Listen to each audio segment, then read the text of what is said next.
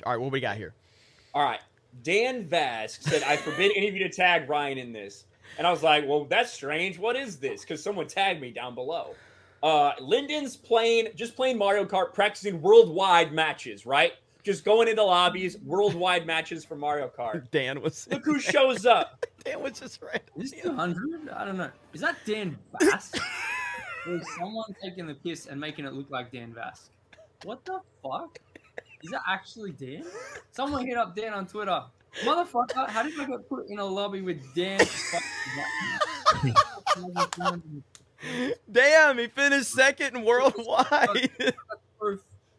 Dan Vasc plays Mario Kart. Ryan's gonna roast him. I could not imagine being that much of a tryhard. that you fucking play global Mario Kart in your spare time. My fucking god, Dan man it,